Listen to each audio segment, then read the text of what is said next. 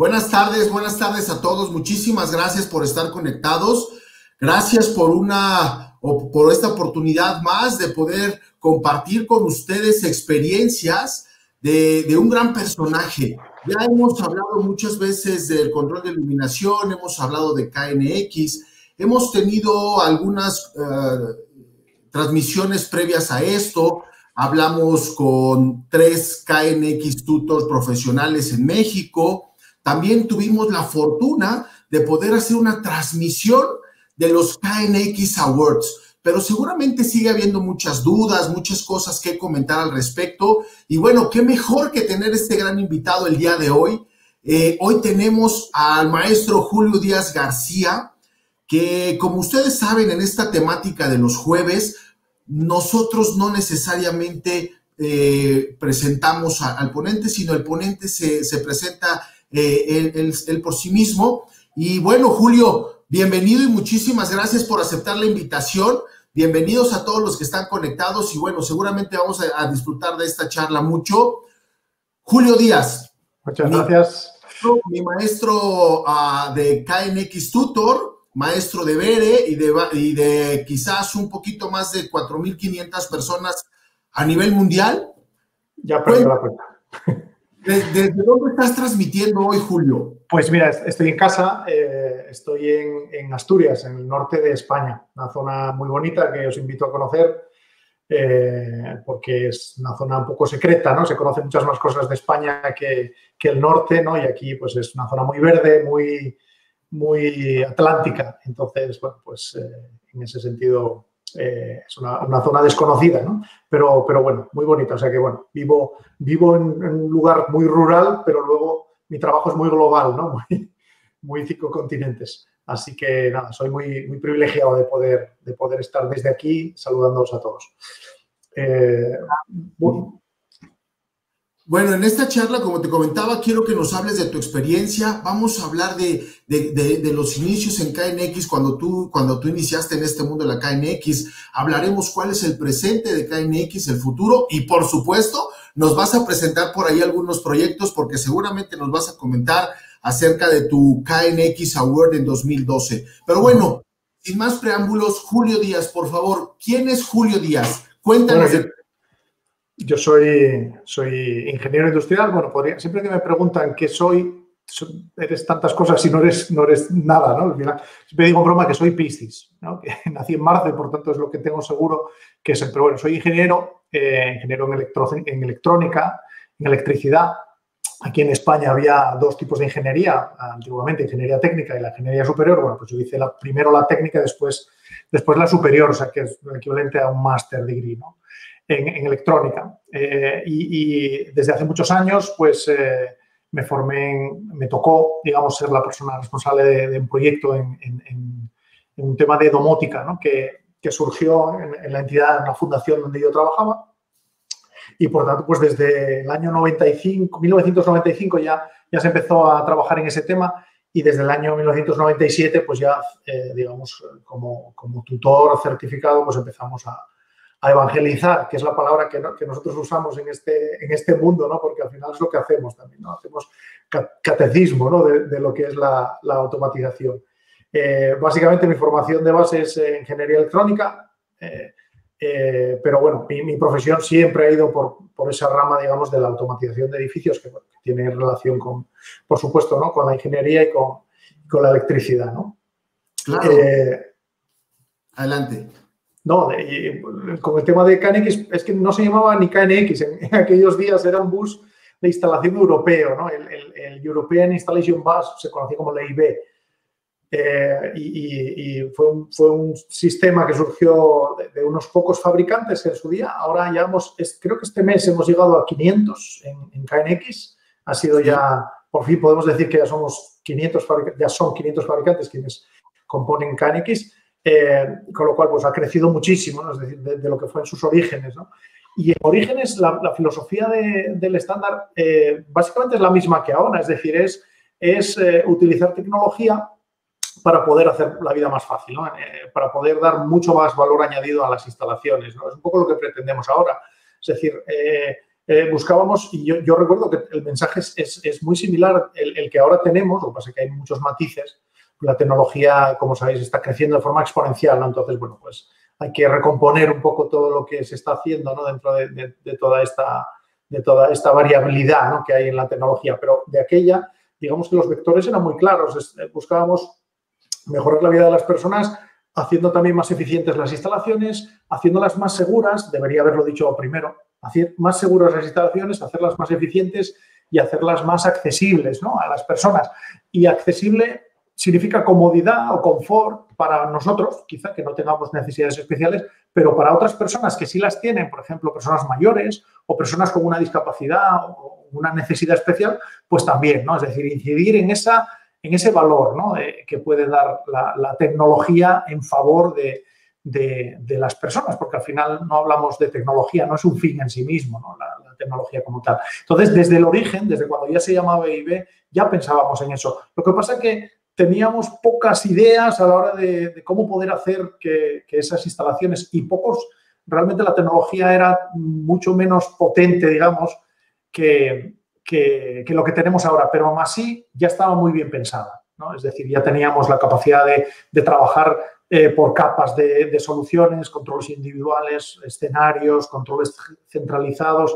Es decir, ya podíamos hacer un montón de cosas y sobre todo integrar, ¿no? Integrar muchísimos sistemas dentro del, propio, de los propios edificios, incluso ya en, aquellos años, ¿no? Hablamos del milenio pasado, ¿no? Ya no del siglo, sino del milenio pasado, Entonces, ha, crecido mucho en, fabricantes, por tanto, en soluciones, pero también los, la propia tecnología ha ido mejorando muchísimo. Es decir, desde de, varios vectores, ¿no? En el vector de la propia capacidad de los elementos, ¿no? que, ha ido mejorando mucho, por tanto, tenemos microcontroladores muchísimo más potentes, por tanto, las capacidades de los sistemas son, son mucho mayores, no tiene nada que ver un, dispositivo KNX actual que tienes infinidad de parámetros, Pongo, por ejemplo, el último Gateway DALI Premium de ABB, por ejemplo, ¿no? que me ha tocado eh, tocarlo ¿no? y que estáis vosotros en proyectos es, brutal, es decir, es, fantástico y, abrumador a su vez, ¿no? porque hay tanto que se puede hacer comparado, digamos, pues con un pequeño dimmer que, podía tener ABB hace 20 años. ¿no? Y hablo de ABB como podemos hablar de cualquier otro fabricante, pero bueno, eso lo conocemos bien. ¿no? Entonces, hablando, ya estaremos hablando más adelante de qué, como, como bien dice, estos inicios, el tema propiamente de lo que tenemos en el presente y, y hacia dónde va el futuro de la KNX. Pero también hablando un poco de Julio Díaz, Julio Díaz eh, tiene 23 años siendo KNX Partner de una otra forma, pero también has dado cátedra en ciertos másters. ¿Dónde has dado cátedra? Sí, pues yo tuve, la suerte de, bueno, pues de, siempre vas haciendo amigos, ¿no? Entonces me llamaron para dar formación en el máster de domótica y hogar digital eh, de la Universidad Politécnica de Madrid, por ejemplo.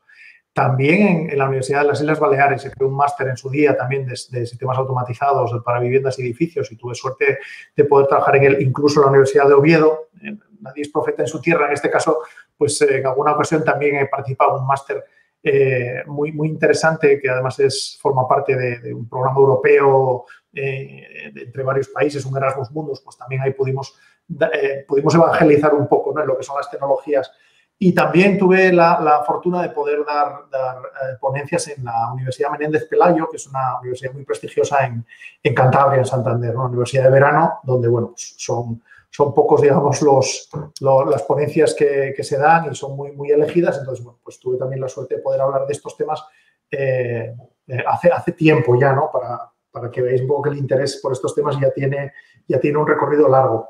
Claro, y, me gustaría ahora mucho también que nos hablaras, Julio Díaz, qué significa o qué aportaciones ha tenido para la KNX Association, porque tú has, has, estado trabajando o has colaborado en su momento con la KNX de España, fuiste el primer, el primer KNX partner propiamente, o KNX tutor en España formaste, has formado a más de cuatro mil personas. Me gustaría mucho esto, dónde, dónde, has, dónde has sido maestro, dónde has sido tutor. Más de cuatro mil personas en diferentes partes del mundo, tanto en el idioma castellano como en, en inglés. Sí. A ver, mi, Sí, adelante. la mayoría de la formación la hemos dado aquí, la hemos dado aquí en España. Bueno, sabéis que la formación KNX eh, tiene que ser presencial o, en su mayor parte presencial. Entonces esto añade una dificultad ¿no? a, esta tarea. La verdad es que ha sido un camino muy, muy bonito, pero no, no, ha dejado de tener sus ciertas travesías por el desierto, ¿no? Porque, claro, al ser,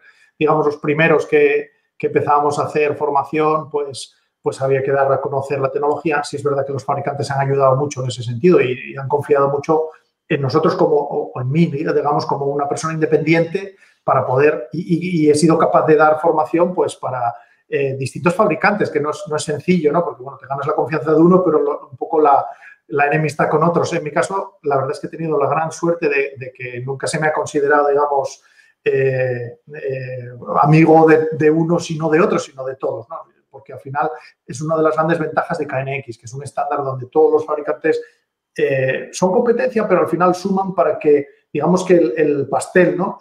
La, tarta, la torta, como, decís ahí, sea más grande, ¿no? Cada vez. Es decir, que al final saben que se puede hacer muchísimo más grande el mercado y, llegar a mucha más gente o, ser capaces de, influir positivamente en mucha más gente gracias a estas tecnologías. Entonces, bueno, al final, pues eh, nunca ha sido nunca ha sido competencia. Eh, cuando daba una formación para Schneider no, no, tenía problema eh, ABB en contratarme o, o, que diéramos formación para ellos la semana siguiente. O sea, la dificultad era para mí, ¿no? Que pues siempre tenías que ser neutral y siempre, además siempre lo he puesto muy claro, cuando yo, cuando yo formaba a las personas y, mis alumnos lo recordarán porque siempre lo, lo decía, eh, siempre he sido muy respetuoso en ese sentido. Es decir, estamos dando la formación para este fabricante, hablemos de esto, pero el curso es un curso KNX, no es un curso de producto de nadie. Entonces, eh, la formación es lo que tiene que ser. Es decir, es, eh, no, no, es un cursillo, no buscamos dar cursillos, sino cualificar, ¿no? Porque al final eh, lo que pretende la gente es aprender, ¿no? Aprender un oficio, aprender una tecnología que pueda ser eh, útil para ellos en, el, futuro y que a su vez ellos eh, influyan positivamente en, sus, en sus clientes y en sus, y, en sus negocios.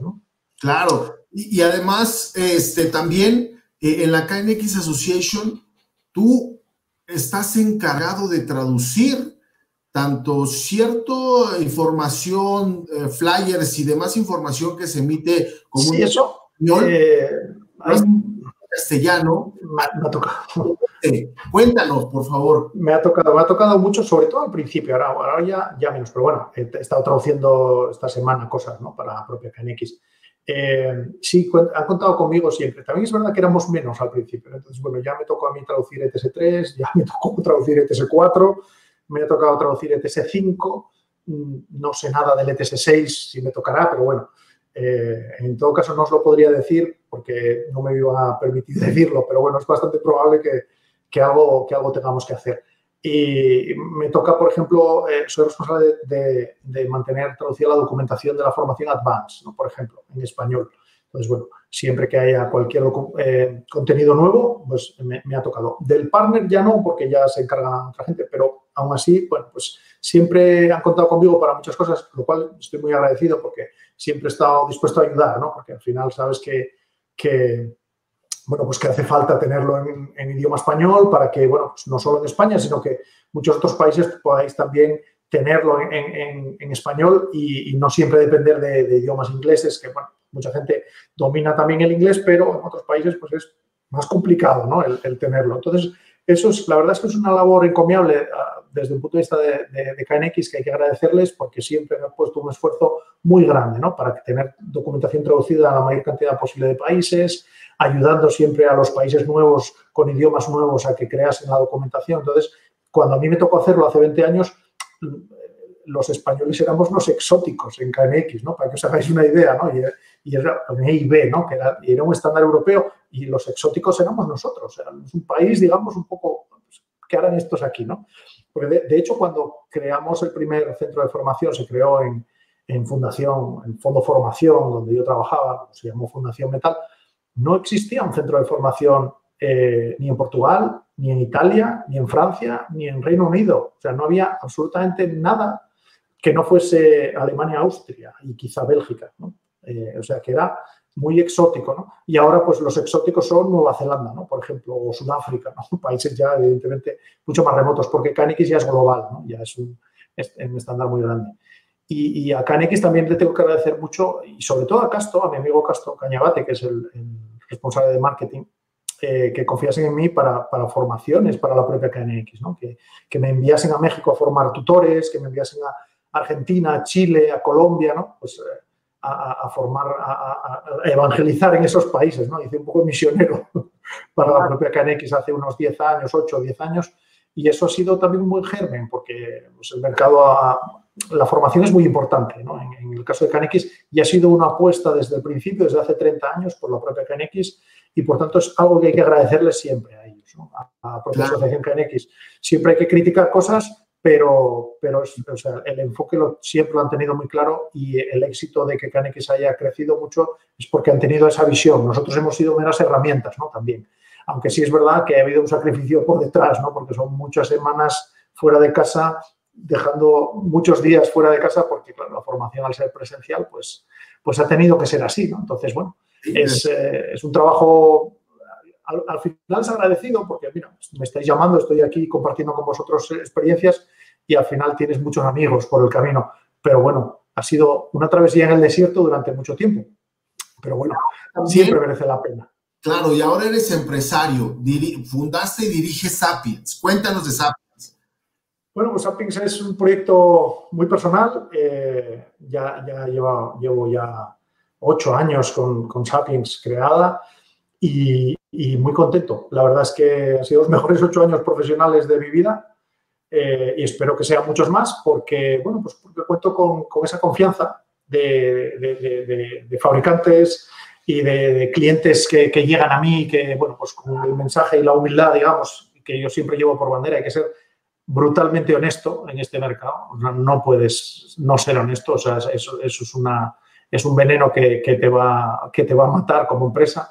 Hay que ser brutalmente honesto, hay que ser prudente, pero, pero, pero también eh, hay que ser arriesgado también. Es decir, hay que tener cierto balance, ¿no? cierto equilibrio entre muchos muchas cosas. Y al final, eh, pues, pues con Sapiens hacemos o hago muchas cosas, ¿no? Es decir, eh, pues hago parte de ingeniería, pues, mucha consultoría cada vez más. Me, tengo clientes que necesitan, tienen, son entidades grandes, públicas o privadas, que necesitan asesoramiento en cuanto a, pues a, sus proyectos a medio y largo plazo porque quieren que sea moderno, que esté automatizados todos sus edificios, etcétera, pues necesitan un perfil de alguien externo que les oriente, ¿no? que les ayude a, que sus proyectos tengan una, homogeneidad, ¿no? digamos, que tengan una, visión global eh, y, que, que, sean coherentes ¿no? a medio y largo plazo, que no sean eh, proyectos diferentes que al final no tengan un, empaste.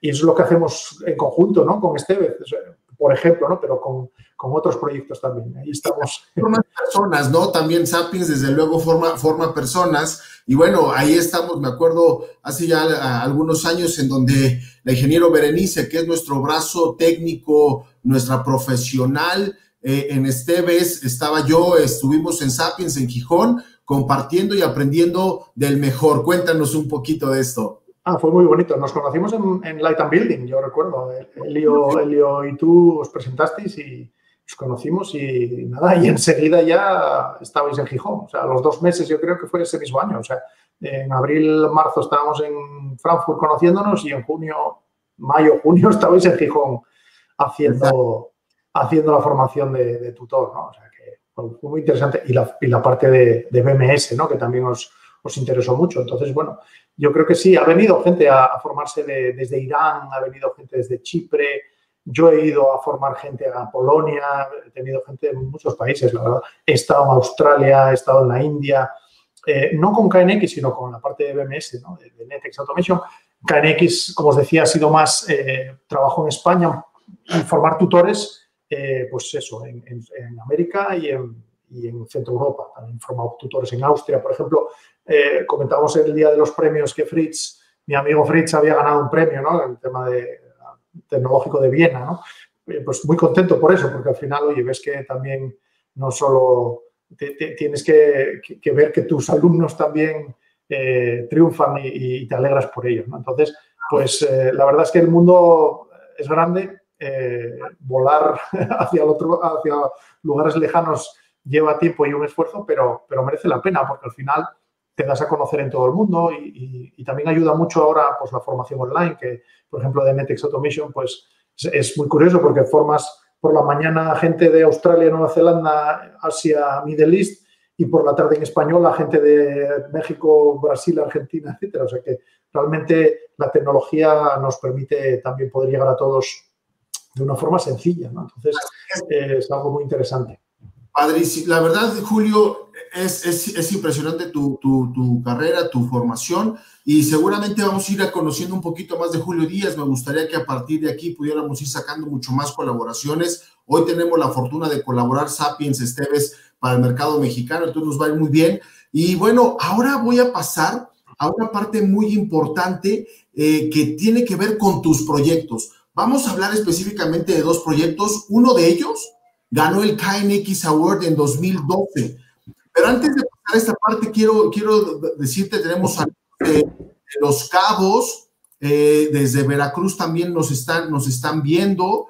Saludos desde Guadalajara, Ciudad de México. Nos está viendo Julián Hernández desde Argentina. Saludos. Salamanca, México. Y bueno, Noemí dice, wow, se sorprende de, cuatro mil, de cuatro mil pupilos, ¿no? Saludos en Oaxaca, desde Oaxaca, perdón. Y también, bueno, Noemí dice, tengo el gusto de conocer a Benice, es, un, es una chica súper profesional, muy inteligente y que nos ha ayudado a hacer eh, pues los proyectos más emblemáticos que tenemos. Lo, lo comentaba el, otro día y lo, lo, repito, insisto mucho, las mujeres para, para este tipo de trabajos son fantásticas, porque son muy ordenadas, muy organizadas, muy sistemáticas eh, y, por tanto yo animo a que haya cada vez más, más mujeres en este, en este ámbito. También porque es muy triste dar cursos siempre a hombres, ¿no? Entonces, bueno, también por, por mi parte, el, el, tener alumnas siempre, siempre es, es más gratificante, ¿no? Pero, pero bueno, porque, o sea, hablando en serio, es, es eh, es, es, un mundo en el que, bueno, pues eh, en España pasa también, no hay tantas chicas, quizá hay cada vez más, ¿no? Porque la tecnología, bueno, pues cada vez atrae más, más, no es una cuestión de género tampoco, pero, pero yo creo que, que, son personas eh, muy adecuadas para este tipo de trabajos, de, la integración, de, de, de, aportar valor, creatividad. En este mundo hacen falta muchísimas más mujeres. Entonces yo las animo también a, a que entren y a que se animen. Aquí está Berenice Vázquez, Julio, qué gusto poder, poder aprender siempre de ti, ¿no? Eh, la verdad es que es, muy gratificante. Y bueno, gente que nos sigue saludando desde, desde Tabasco, a San Luis Potosí. En fin, vamos a dar paso, Julio, por favor, eh, a, que nos platiques un poco de tus proyectos a que nos platiques de qué va, de qué va eh, los proyectos en los que tú participaste y de los que tú tienes eh, reconocimiento en uno de ellos, ¿no? Bueno, pues eh, hablamos, hablamos del premio. Daros cuenta que esto es un edificio pensado hace 10 años, o sea que la tecnología ha avanzado muchísimo, pero aún así ya teníamos claro, ¿no? Un poco lo, que, lo que queríamos. Es, el premio me lo dieron, era la, la, nueva sede en su día, iba a ser la nueva sede de, la propia fundación donde yo trabajaba. Entonces, bueno, fue un proyecto que he hecho con mucho cariño desde, desde el principio porque era mi propia casa, o sea que lo hicimos con todo el cariño. Eh, si quieres pasar, empezamos a, verlo. Eh, bueno, ahí veis, eh, ahí tenéis los links también, ¿no? De una noticia en, en Today, por ejemplo, que encontré, en este caso está en inglés. pero bueno, no es un proyecto masivo, no es un proyecto masivo, pero sí es un proyecto con mucha tecnología. En su día eh, teníamos la, idea de integrar absolutamente todas las instalaciones posibles, digamos, con KNX. Y además la teníamos, es muy curioso, porque eh, yo había, tenía, tengo mucha amistad con, los fabricantes aquí en España desde siempre, porque bueno, yo he sido siempre un comodín para muchas cosas, ¿no? Para dar formación, para o, para hacer consultas o para ayudar a, algunos eh, de sus clientes. En algunos casos, en algunos proyectos. Bueno, pues siempre hemos estado ahí un poco de, ayuda, ¿no? Entonces, en este caso, eh, eh, este proyecto conseguí que, distintos fabricantes nos donasen los equipamientos. Hay una ley de mecenazgo en España, no sé si ocurre en México, pero en España si donas a una fundación eh, determinados equipos o, elementos de valor, pues tienes una desgrabación fiscal. Entonces, conseguí convencer a, a, BB, a Schneider Electric, a Jung, a, Siemens y a Vago eh, para que nos donasen todos los equipamientos KNX del edificio, que era pues, aproximadamente el precio de mercado pues, de hace 10 años unos 200 mil dólares, para que os hagáis una idea. Eh, y, y, lo conseguí, pero aún así había mucha más tecnología que solo KNX, porque había BACnet, por ejemplo, en las partes, en las partes de, climatización, había Modbus también para la parte de metering, y eso, eso supuso, digamos, un cambio en nuestra mentalidad. ¿no? Pensábamos que todo se podía hacer con KNX y realmente nos dimos cuenta de que casi todo se podía hacer con KNX, pero que teníamos que pensar más grande. ¿no? Y eso nos llevó, a mí me llevó personalmente a descubrir lo que es eh, pues un BMS, por ejemplo.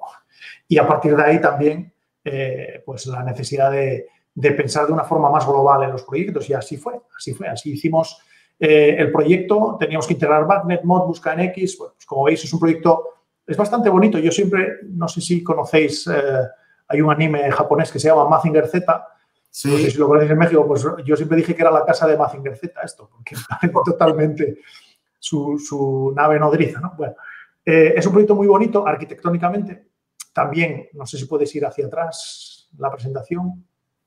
La puedes, le puedes dar tú hacia atrás. Da un poco hacia atrás, por favor. Eh, un poco más.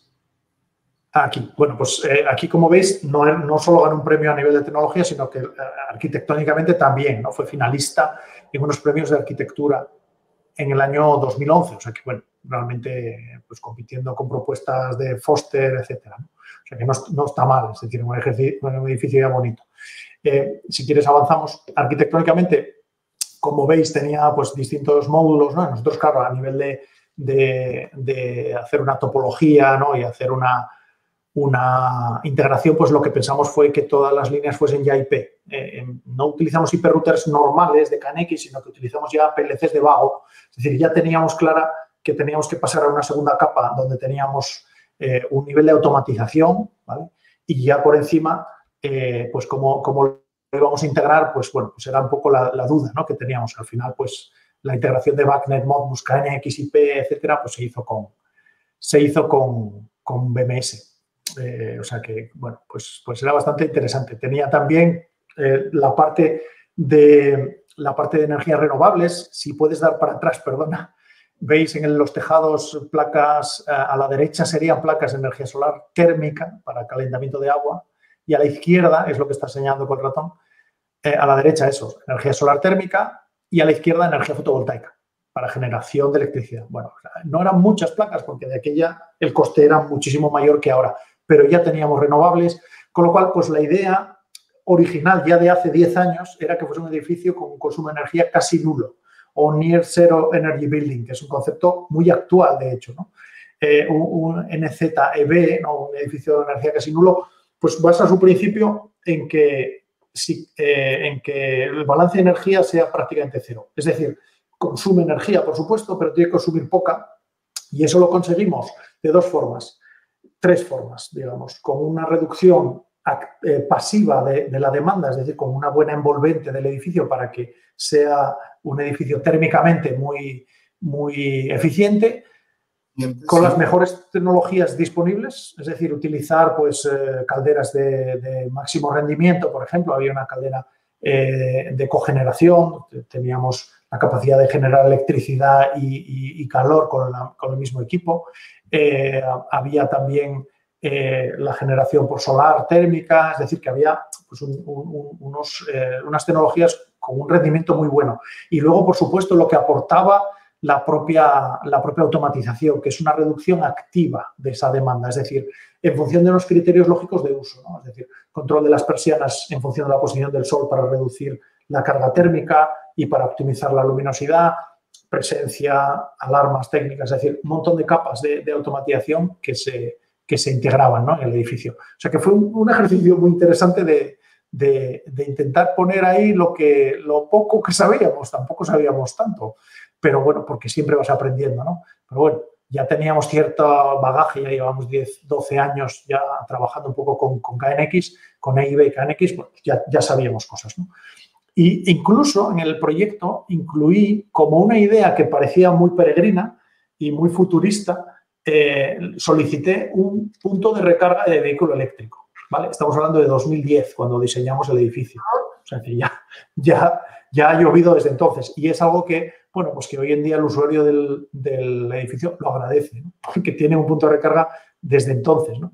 Bueno, como algo que también podíamos integrar ¿no? en KNX, que era un poco adaptadores de energía, entonces nos permite ver, eh, aunque, sea solo en cuadrante positivo de activa-reactiva, pero ver eh, pues el, consumo que está teniendo la, recarga del vehículo, etcétera, etcétera, eh, poder habilitar o deshabilitar esa toma. Bueno, hay un montón de, tonterías, digamos, o pequeñas aplicaciones que podíamos hacer. El centro de transformación que se ve delante, abajo a la derecha, también estaba monitorizada las temperaturas. Había un montón de, de integraciones, todas las puertas, cámaras, eh, Mobotics que también se integraban en una visualización. Y es un proyecto del año 2010, o sea que ya tiene su, su, historia. ¿no? Si quieres avanzar un poco ya para ver la parte de control, pues la entrada del edificio, son fotos de cuando se inauguró. Eh, era, era muy, es un edificio muy bonito, vamos, Bueno, pues como bien estuvo nominado, Norman Foster era la persona que lo había proyectado. ¿Qué, qué podemos esperar, no? No, no, no, no. Norman Foster no es el arquitecto. Compitió con proyectos, con otros proyectos como, por ejemplo, de Norma. El arquitecto es asturiano, es, es eh, baragaño, eh, y, es un chico joven y la verdad es que con, un montón ya de, proyectos y, más premios, ¿no? O sea que es un arquitecto muy, muy renombrado hoy en día y bueno, hace 10 años empezaba su carrera y la verdad que el edificio nos, nos, eh, nos ganamos el respeto mutuo uno al otro, ¿no? Porque claro. es, un edificio muy bonito.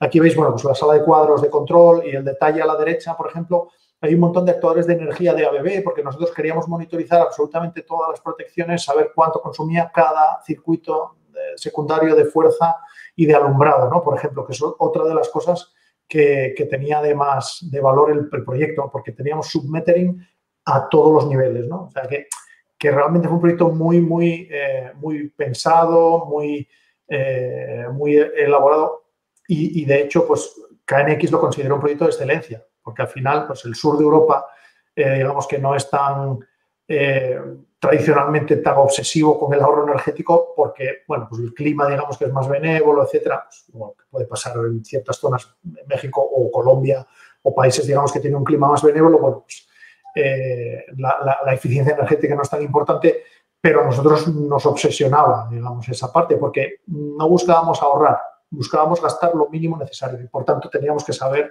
absolutamente todo lo que estaba ocurriendo en el edificio en cuanto a, consumo. ¿no?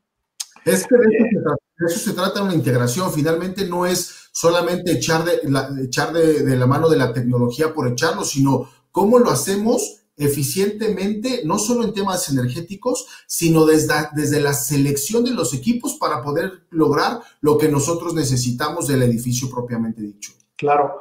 Y, por ejemplo, también monitorizábamos todas las protecciones, a ver si las protecciones estaban activas o, en fallo, ¿no? Por ejemplo, y eso son señales, no sé si a la derecha abajo veis todos los cablecitos rojos que entran en el PLC. Igual si pasas a la siguiente se puede ver más en detalle. Pues eso es, todas esas señales son de protecciones eléctricas. Es decir, ya de aquella ya teníamos eh, contratos auxiliares para, determinar si había cualquier tipo de fallo en cualquiera de las protecciones eléctricas del edificio, con lo cual estábamos monitorizando todo, el consumo de energía de cada, de cada circuito, las propias fallas de esas propias protecciones, etcétera. O sea que eso, y eso lo llevamos a, un PLC, que ya era un nivel superior, Bueno, hoy en día eh, nosotros en, el nivel de automatización pues hubiéramos quizá propuesto otra solución, no, no un PLC, sino quizá una solución más versátil, eh, como Logic Machine, por ejemplo, o algo así, pero, pero bueno, en este caso se hizo así y la verdad es que es un proyecto fantástico. ¿eh? Nos estábamos encantados porque teníamos todos esos recursos. Claro, y un recurrente desde entonces es la gran cantidad de marcas que puedes integrar a este sistema KNX para lograr el todo. No tienes que ser eh, esclavo o te tienes que ir solamente con una marca. Cada marca te va a dar ciertos beneficios, ciertos productos en específico que te, te van a ayudar a resolver problemas o situaciones en específico, ¿no?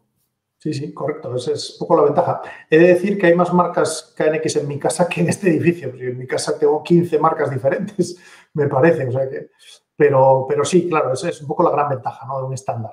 Porque al final no hablamos de A o B. No te tienes que casar con, con uno o con otro.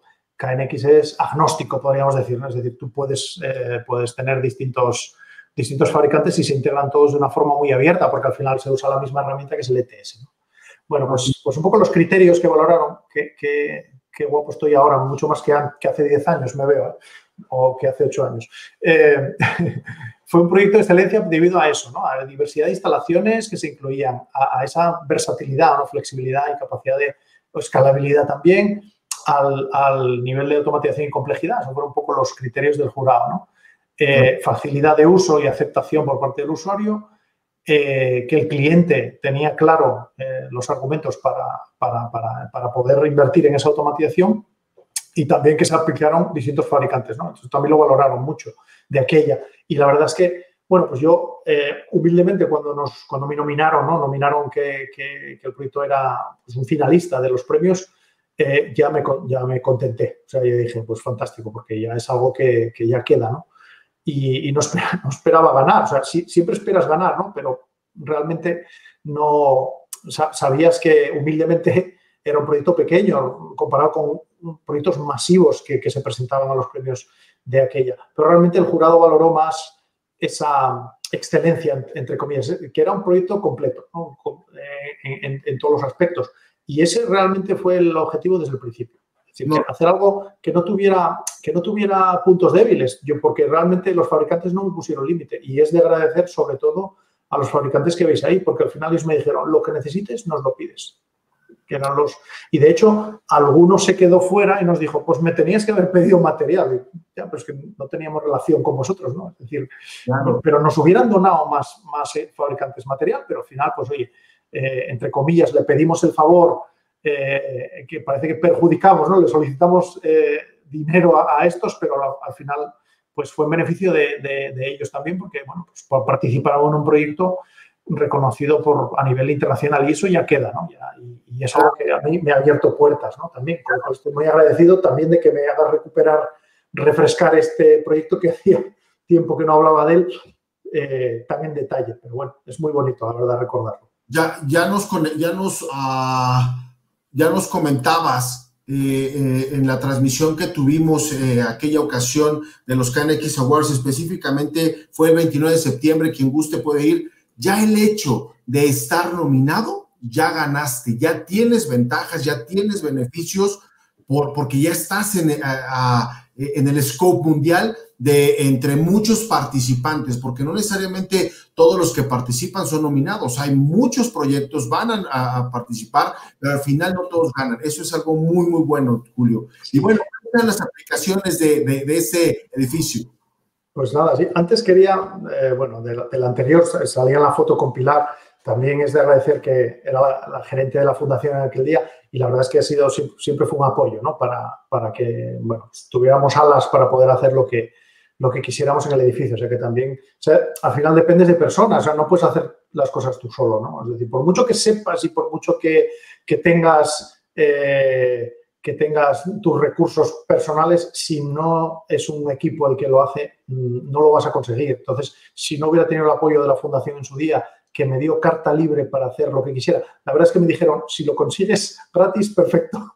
Entonces, lo conseguí y por tanto, pues eh, eh, la gente que de cada fabricante me apoyó, son muchos nombres, tampoco, pero bueno, ellos saben ¿no? quién, son, ¿no? En cada caso, eh, son los responsables en España ¿no? de, estas marcas, que, apostaron por ese proyecto porque confiaban ¿no? en que lo íbamos a hacer bien y tal, y que luego al final te dieran el premio, eso fue una gran recompensa, porque al final tú no dejas de estar comprometiendo ¿no? tu, tu propio prestigio en algo que, que al final salió bien, ¿no? Si hubiera salido mal, pues bueno, pues hubiéramos quedado contentos, pero, pero esto fue un gran, eh, digamos, colofón a, esa, a esa aventura, ¿no? Que fue meternos en un proyecto que al final sí era complejo, es un proyecto que realmente tenía su cierta sofisticación para lo que sabíamos hace 10 años. Hoy con lo que sé, y es lo que vamos a comentar después, eh, me hubiera asustado el 2% de lo que me asusté entonces, ¿no? Porque ya tienes otra forma de ver los proyectos. Ya no te asusta, digamos, un proyecto grande ni complejo, porque tienes, conoces otras herramientas, ¿no? Que sabes que te lo van a resolver de forma sencilla. Y es una cuestión simplemente de, trabajar, ¿no? De, dedicarle unas horas, eh, no sé si 10, 100 o 1000 horas, pero, pero bueno, ya tienes, digamos, otra, otro pozo, ¿no? En, cuanto a enfrentar proyectos. A nivel de, me preguntabas de qué tipo de aplicaciones se habían eh, utilizado bueno, pues eh, se integró iluminación y además se integraba, o si la intención era integrar todo lo que conocíamos de iluminación, es decir, conmutar circuitos donde no era necesario regularlos, eh, pero también tener iluminación regulable. No, no hubo DALI en ese proyecto, recuerdo, porque el DALI era algo que no era tampoco muy común y, aparte, claro, hubiera requerido los drivers eh, correspondientes y ahí sí que no teníamos ayuda. Entonces tuvimos que hacer un control de iluminación, todo nada. Pero, pero si fuera un edificio actual hubiéramos apostado seguro por DALI. O sea, es, algo que hubiéramos hecho seguro. Eh, detección de presencia, regulación de luz constante en algunas zonas. Eh, luego la parte de hatchback, no solo a nivel de fan coil eh, por zonas, sino también la, parte de, de, generación, de ventilación, de recirculación de aire. Es decir, todo ese control individual, centralizado, de forma automática, que también dependía de condiciones exteriores, realmente era bastante eh, lo más, la parte que más nos costó, digamos, ¿no? más compleja para nosotros, porque eh, la sala de máquinas pues era algo que tampoco teníamos gran experiencia ¿no? a la hora de integrar, pero bueno, al final son señales de válvulas, bombas y, temperaturas y bueno, son unos lazos de control que, que, realmente ya están todo inventado, ¿no? Entonces, bueno, no, no dejó de ser un aprendizaje. Todo el control de cerramientos, que es eh, algo que descubrimos como muy importante en un edificio, es decir, parece que motorizar una persiana, un store, ¿no? una cortina, bueno, pues puede ser algo accesorio. En un edificio no lo es, es, fundamental porque nos permite, es, decir, esa reducción activa ¿no? de la demanda que nosotros mencionamos antes, la podemos llegar a hacer de forma, de forma muy intensa, ¿no? con, el control de esos, de esos cerramientos, porque realmente en la radiación solar y en países que tenéis mucha, mucha radiación solar, México es un caso muy, muy claro, el disponer de cerramientos que, de forma automática te permitan controlar esa radiación, es decir, reducir esa radiación cuando, cuando es excesiva, te permite un ahorro en, climatización, en refrigeración, que puede llegar al 40-45%, que es salvaje, o sea, amortizas el sobrecoste o tienes un payback de, ese sobrecoste de la automatización en meses o, en muy poco tiempo. Entonces, eh, ese control de presencias gestores en función de la posición del sol, etcétera, pues es algo que es, que es muy importante. En el próximo proyecto, eh, el, proyecto más actual que, vamos a comentar ahora, sí, sí lo vais a ver. El tema de seguridad, es decir, también tener la tranquilidad de que si hay cualquier tipo de incidencia con una inundación, porque había, claro, en un centro de formación, pues vestuarios, duchas, etcétera, pues podía haber muchas incidencias. En ese sentido, pues tenerlo todo monitorizado y que la persona responsable pues tuviera en tiempo real toda la información, pues fantástico. Teníamos todos los, todos los contactos de ventanas, ¿no? Por ejemplo, monitorizados también, para que cuando revisas un edificio grande, pues tener información de si hay alguna ventana abierta. Usando lógica, pues simplemente se sabía si quedó alguna ventana abierta, en qué bloque, en qué planta, y era revisar simplemente, o sea, era simplemente pasar por esos dos puntos, tres puntos para, para cerrar el edificio y poder, y poder eh, cerrarlo ¿no? cada día. Entonces, al final era una experiencia de, fue, una experiencia de, inventar eh, eh, ventajas que no se conocían, es decir, buscar las necesidades que podía tener cualquier usuario del edificio, sea un usuario final, alumnos, profesores o, o personal de mantenimiento responsable del, edificio, e intentar buscarle una solución con la automatización. Lo que después de muchos años yo tengo claro es que no hay duda, tú automatiza todo lo que puedas y en el momento que tengas todo automatizado ya vas a poder eh, dar solución a la necesidad que a lo mejor no tienes hoy, pero sí tienes mañana. Entonces, bueno, es algo que, nos da esa, experiencia al final. cuanto más automatices, no por, no por quitarle humanidad a las instalaciones, sino todo lo contrario, porque te ayude. No es sustituir, sino apoyar. ¿no? Esa es un poco la idea. Oye, Julio, ya sabemos entonces que la, automatización de un edificio, de una casa, no necesariamente es solamente la iluminación, sino que hay muchas áreas en donde podemos avanzar y que KNX nos los ofrece. Antes de pasar al siguiente, al, siguiente proyecto, mira, vamos a revisar estos, saludos, estos comentarios. De los proyectos ganadores de este 2020, tengo entendido que algunos fueron alumnos tuyos. ¿Estoy, estoy en lo correcto? Y Fritz, el chico austríaco, yo le, yo le formé como tutor, correcto. Si hay otra gente que conocía, eh, pues, eh, el ganador argentino o, la, gente de Brasil, ¿no? que, conocía, porque bueno, pues, vas, a congresos, etcétera, y, si tienes contacto con ellos, y, por tanto sí conocía, pero, pero eh, curiosamente los latinos no, no habían sido alumnos, pero sí el austríaco. Entonces, sí, sí han sido alumnos míos, pero también de otros, de otros premios anteriores. Es decir, de hecho en España pues hay tres Mm, tres awards, creo, aparte del de Jesús Arias, que trabaja en KNX ahora, eh, que, fue un proyecto en Sudáfrica. Eh, de los tres awards anteriores eh, son alumnos, son amigos los que los habían ganado antes que yo, en 2000, 2002 me parece y 2008, creo que, fueron los awards que habían ganado las otras, las otras personas y, de hecho, pues eso es un orgullo también, ¿no? Y, son gente muy, muy profesional. O sea que, nos comenta Chava Salvador Santiago, excelente plática y excelente KNX. Saludos desde La Paz, Bolivia. César Condori Vargas. Saludos a, Bolivia. De Rey. Luis Carrillo, saludos Ricardo, Julio y bueno, nuestro querido Rimac Quiñones. Oh, mi amigo Rimac. Sin duda uno de los grandes eh, evangelizadores de la industria de automación y control, quien tiene una enorme experiencia y sobre todo una visión de ingeniería de muy alto nivel Siempre se aprende muchísimo con fundamentos científicos y técnicos a fondo. Felicidades, Esteves, por tenerlo en este espacio. Un fuerte abrazo, Julio. Echo de menos poder ver a Rima. Siempre nos vemos cada poco. Pero bueno, ya llegará. Y la eh, en KNX en México, al igual que, que Maribel Pacheco, yo creo que eh, ellos, ellos arrancaron esta aventura hace algún... Es, que los veo como, como yo en España, es decir, es, ah. esa travesía en el desierto, saben de lo que hablo, saben de lo que hablo perfectamente, porque no es fácil. Y, también la estáis haciendo vosotros en este, estáis haciendo una tarea fantástica, ¿no? pero que es una tarea que hay que sembrar ¿no? y hay que tener paciencia, siendo siempre impacientes, siempre buscando, eh, eh, teniendo siempre esa, ese espíritu de tengo que llevar mi mensaje a, la gente, porque sé que es positivo para la gente, porque sé que puedo hacer que la gente eh, mejore su vida, ¿no? Al final, con estas tecnologías. Eh, no, no quiero vender tecnología, yo no quiero que la gente quiera la tecnología, quiero cambiar sus vidas de forma positiva. En el fondo es lo que buscamos, ¿no? Es decir, eh, tener un efecto positivo en los demás. Es un poco, pues oye, una, forma de, también de ver nuestra, nuestra, nuestro trabajo, ¿no? Como técnicos, ¿no? Tenemos que ser útiles a los demás, sino ¿qué hacemos? ¿no? no es solo me gustan los, los, cacharros, los dispositivos y soy un freak ¿no? de, los dispositivos. No, esa es la misión. Un ingeniero es aportar valor. ¿no? Entiendo, bueno, como cualquier otro, es decir, es, es, una cuestión vocacional. Evidentemente no me quiero comparar ni, con una persona dedicada a la sanidad ni a, ni a la educación en, en, otras etapas. ¿no? Pero, pero si los ingenieros no aportamos un valor, ¿no?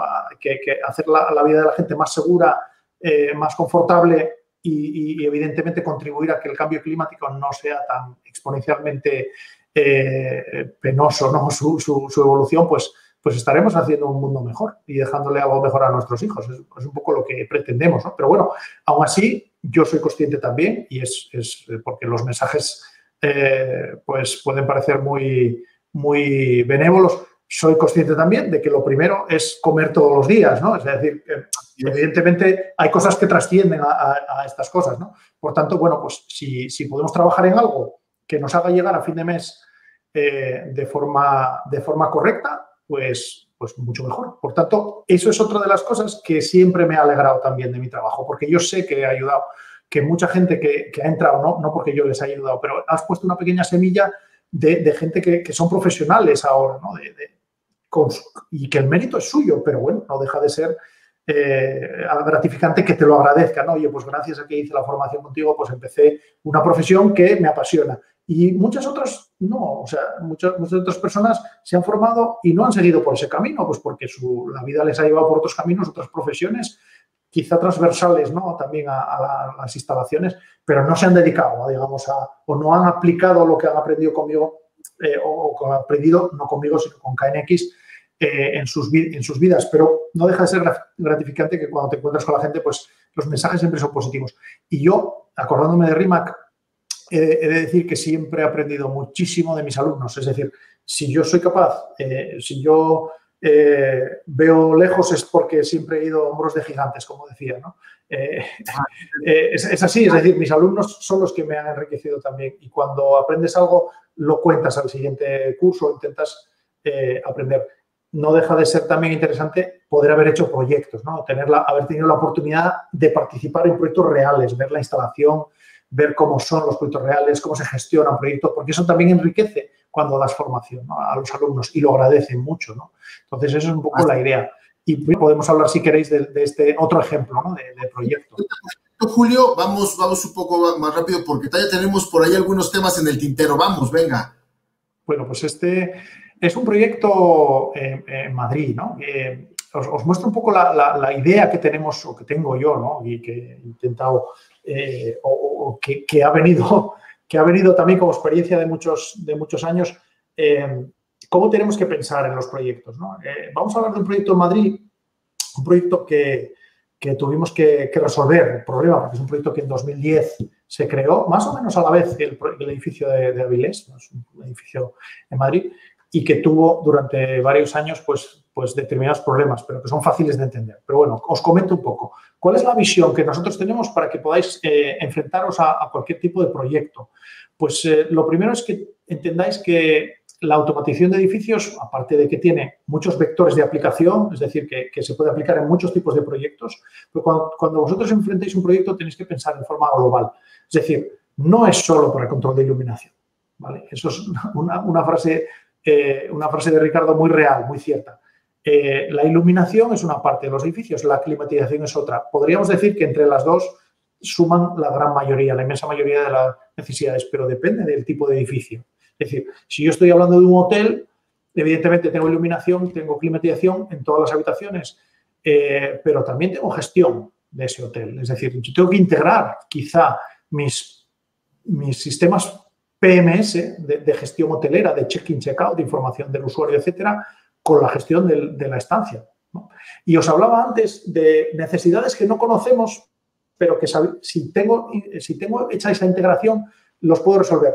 Nosotros nos, comentaron en su día que había, que había un, proyecto interesante para integrar en hoteles eh, sistemas automatizados. Es decir, eh, conocer los estados de las habitaciones, etcétera, integrarlo con los sistemas de gestión. Y nosotros, bueno, pues evidentemente eh, respondimos que se podía hacer, eh, porque podemos integrar a, nivel, a nivel software toda esa infraestructura. Y cuando nos dijeron por qué lo necesitaban, fue cuando descubrimos que había necesidades que nosotros no, no entendíamos.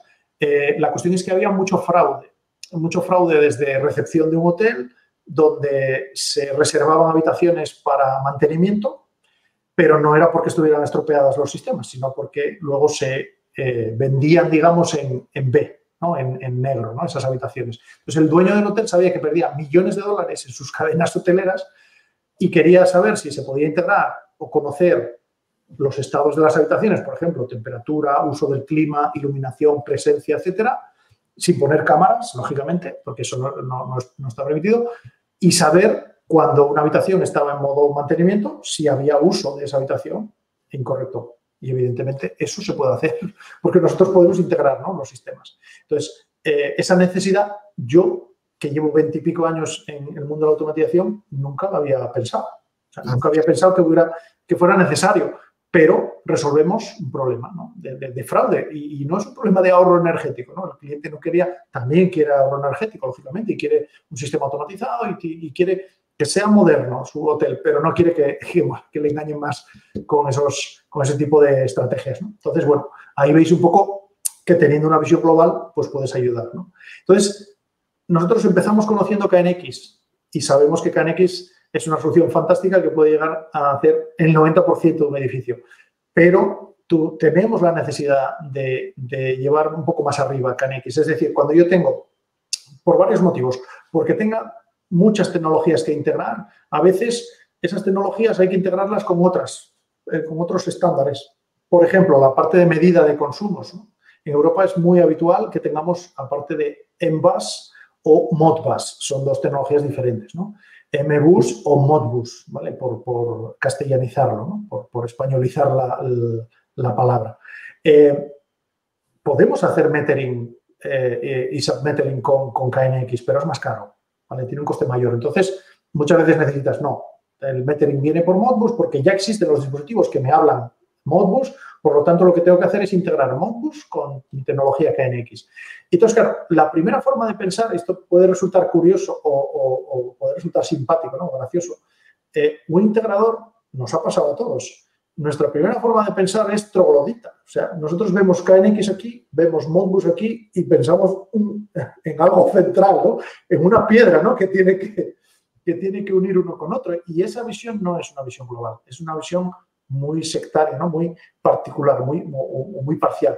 Porque si tienes 50 sitios en, tu, en el mismo proyecto donde tengas que unir Modbus y KNX, no vas a tener dinero para pagar 50 gateways.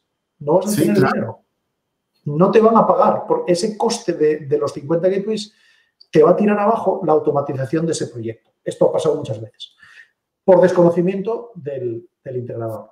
¿eh? Porque lo que hay que hacer es tener tu KNX, llevarlo a IP tener tu Modbus, llevarlo a Modbus TCP y unir eso arriba. Es decir, usar un software que vía Backbone te lo permita hacer. Por ejemplo. Entonces, esa visión sí te permite ahorrar o, no gastar un dinero de forma innecesaria y optimizar utilizando una visión global, una pirámide de, automatización donde tienes tus tecnologías de campo, eh, KNX, DALI, que se integra muchísimo en KNX, eh, eh, sistemas inalámbricos tipo Zigbee, Z-Wave, en Ocean, eh, sistemas de medida, ¿no? Como en o Modbus, y todo eso lo llevamos a IP, ¿vale? Lo llevamos a IP, el, bueno, el DALI lo llevamos a KNX, el MBAS lo llevamos a KNX, quizá, no, hay, hay, hay, estándares pequeños que no son capaces de ir a IP directo, pero todo eso lo llevamos a IP y tenemos una infraestructura IP donde un software nos permite gestionarlo todo y al final estamos añadiendo valor, duplicando el valor añadido de, una instalación, la, capacidad que tiene una instalación y ahorrando dinero. Es que es lo curioso, ¿no? Que a veces la solución es más barata siendo global y bien, y bien estructurada que una solución parcial, ¿no? Entonces, cuanto más grande es el proyecto, incluso mejor, ¿no? Porque, porque se puede hacer de forma más sistemática. Y en este caso nos pasaba algo parecido, ¿no? Entonces, si queréis Ricardo explica un poco lo que ocurría ¿no? en su día con este edificio y cómo lo resolvimos. Bueno, pues este es un edificio, un edificio muy importante. Eh, hay una compañía petrolera en su día, pero bueno, ha pasado por varias manos. Aunque la propiedad del edificio es del dueño de Zara, de Inditex, que son tiendas de, ropa que conocéis seguro. Hay, tiendas por todo el mundo, ¿no? Amancio Ortega es una persona, es un benefactor también, a su vez tiene fundaciones, etcétera, y, es una persona, eh, bueno, pues que, que tiene que tiene una cabeza muy bien amueblada, es decir, tiene empresas de inversión, eh, o sea, que ha hecho, un, digamos, ha conseguido una gran fortuna también con mucho trabajo y, también con mucha inteligencia. ¿no? Bueno, pues eh, en este caso se compró este edificio, invierten en muchos edificios, se compró este edificio en Madrid y, bueno, pues cuando llegó la propiedad nueva al edificio, el responsable de mantenimiento eh, preguntó pues, cuáles eran los problemas que podía tener el edificio, etcétera. entre muchas otras cosas, ¿no? que bueno, es un edificio con varios años de uso suele tener, había un problema serio con el control de las eh, persianas, ¿vale? sobre todo, eh, y bueno, pues, con la gestión de toda esa información. Si pones la foto anterior, para que la gente vea un poco el aspecto del edificio real, te lo agradezco. Para que veáis un poco la anterior, dos antes. Eso es. Eso es. Bueno, ahí veis un edificio eh, a, mí me parece muy bonito. Hay otros, varios rascacielos más en esa zona, ¿eh? pero este es el que está más al sur, por eso se ve, se ve como único. Eh, es un edificio que tiene 34 plantas, divididas en tres bloques, como veis ahí. Son 12, 11 y 12, algo así. o, 11, 12, 11, puede ser. 34 plantas. pero realmente para nosotros son 68 semiplantas, porque son como dos edificios eh, pegados norte-sur. Por el tema de las, del, del 11S, ¿no? de, las, Torres Gemelas, etcétera, pues la construcción era, digamos que se hicieron como dos edificios para que resistiese uno, si uno colapsaba, pues la otra mitad aguantaba. pero al final, eh, desde el punto de vista constructivo, son 68 semiplantas, aunque las plantas son diáfanas entre, entre ellas, la mayoría de ellas. Para nosotros son 68 semiplantas y cada una de ellas, veis ahí que es mucho de cristal, tiene 34 persianas, o sea que es muy sistemático, o sea, es un edificio 34, mm, 34 y 34 persianas, cada una de esas 34 semiplantas de norte y de sur. Es decir, que al final hay multiplicar 34 por 34 por 2 son 2.312 persianas. 2.312 persianas que, están entre dos vidrios, es decir, no, son, no están fuera del edificio, son persianas normales de, de eh, tipo lamela, ¿no? venecianas, que están intervidrio. Y bueno, pues la necesidad que tiene este edificio, como cualquier otro, es reducir esa incidencia solar, maximizar el confort de los usuarios, es decir, que si no hay sol, la presión esté subida y tú veas el paisaje, no te está molestando el sol, pero en el momento que hay sol, aquella presión a la que le afecta el sol directamente baje y las lamas giren en función de la posición, de la altura del sol, ¿no? en función de la hora del día y la orientación, etc. Ese sistema eh, que implantó en su día el fabricante que, implementó la solución originalmente en 2010 no funcionó nunca, según nos dijo el nuevo propietario del edificio y los de mantenimiento que llevaban 10 años sufriéndolo. Entonces, claro, ¿qué pasó? Que eh, el, nuevo dueño del edificio buscó soluciones. Oye, ¿quién da una solución para una instalación masiva en KNX? Bueno, pues encontraron Netex Automation, fue lo primero que le recomendaron porque es una solución que recomienda la propia asociación KNX. O sea, que buscaron un BMS nuevo para poder resolver esa, incidencia. ¿no? Entonces, eh, me llamaron y, y, fuimos al edificio. Esto fue en 2018, 17 finales, 18 principios, puede ser. Entonces pasamos a la siguiente y veis lo que había. ¿Qué ocurría? Que eh, el diseño original del edificio eran líneas KNX normales con acopladores de línea normales, acopladores TP, en cuatro áreas, ¿vale? En, cuyo en cuya línea principal de cada una de esas áreas sí había un IP router. Había un backbone IP, pero como tercer nivel. Con lo cual, la explicación fue muy sencilla. Yo hice un informe y dije, tenéis colapso absoluto de telegramas. Es decir, esto es una, instalación, mm, o sea, si se quiere hacer peor, es complicado. Es decir, porque al final tú dabas una orden y aquello pues tardaba 10 minutos en ejecutarse y la mitad de las persianas no se movían. Claro, se pierden telegramas. Esto es, esto es algo que yo explico siempre en mis cursos. No quiero tampoco dar mucho, eh, incidir mucho en esto. Entonces, eh, esa fue, era la situación eh, en su día. ¿Cuál fue la propuesta que nosotros hicimos? Pasamos a la siguiente nosotros dijimos hay que cambiar absolutamente la topología. O sea, eh, tenía cada dos semiplantas de la misma zona norte o sur, usaban una línea TP. Es decir, al final no tenían tanta infraestructura. Entonces yo dije, mi propuesta es que absolutamente cada una de las líneas sea IP, directamente IP. Con esto ganamos en dos, en dos aspectos. Uno, en la claridad del proyecto, porque era mucho más claro ahora si cada una de las semiplantas era IP, era todo igual. Tuvo que invertir el, el usuario en 68 nuevos hiperrouters y unas cuantas fuentes de alimentación, porque claro, las líneas se, se, dividían, ¿no? o sea, se duplicaban. Pero claro, ¿qué pasa? Que nuestra solución BMS abre un driver simultáneo con cada una de esas líneas. Es decir, que no hay tráfico en el backbone, que eso es un poco el gran secreto, ¿no? digamos. Con lo cual, claro, pasó a ser un edificio que nunca funcionó a que cuando se hizo la primera prueba de vamos a bajar las 2.312 persianas, la primera vez funcionó y nos dijeron, es la primera vez en 10 años que lo vemos funcionar. Nunca antes lo habíamos visto funcionar. Y a partir de ahí, eso simplemente fue una prueba, ¿no? Y a partir de ahí también se implementó el Shutter Control, es decir, una solución que incluye también la, la georreferenciación de las 2.300 presiones en función de la posición del sol y está funcionando perfectamente. Es una solución, en este caso tiene dos BMS en redundancia, por si acaso uno está en mantenimiento, siempre esté funcionando y funciona perfecto. Desde hace dos años nunca hemos tenido más que incidencia de que hay que actualizar el software, etcétera, pero vamos, nada, nada reseñable. Pero lo más interesante, para que entendáis, es que no se cambió absolutamente ningún dispositivo original KNX. El problema no era de los dispositivos KNX. Los gateways DALI de hace 10 años siguen ahí y funcionan perfectamente. Los actuadores de persiana de hace 10 años siguen ahí y son los mismos, no se cambiaron. Se cambió el backbone y el software que iba por encima para atacar a toda esa infraestructura. O sea que no tuvimos que tirar lo que había para hacerlo con la nueva tecnología. La tecnología que se apostó por ella hace 10 años era perfectamente válida para dar requerimiento, para dar solución a, los requerimientos de 2020. Entonces, es muy interesante porque el, usuario, el, el, cliente pensaba que tenía que invertir centenares de miles de euros en, en renovarlo absolutamente todo. Y nosotros se lo resolvimos con la décima parte de lo que él pensaba. ¿no? Entonces, bueno, pues eso es un poco lo que aporta el tener esa visión global, ¿no? Es decir, no, no hace falta que cambies, ¿no? es un poco la idea.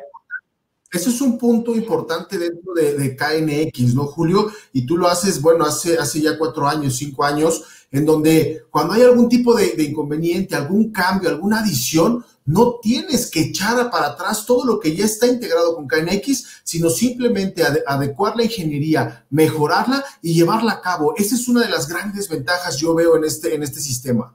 Claro, porque KNX eh, hay instalaciones que se renuevan. Eh, de hecho, los hoteleros, ¿por qué apuestan muchos los hoteleros eh, por, por, tecnologías de este estilo? Porque saben que tienen que, que, tienen que renovar sus hoteles cada cierto tiempo. Entonces, le va a salir mucho más económico hacer una renovación grande al principio y ya, pues bueno, pues ya modernizarán equipamientos, etcétera, pero la tecnología y los sistemas de automatización los tienen ya resueltos.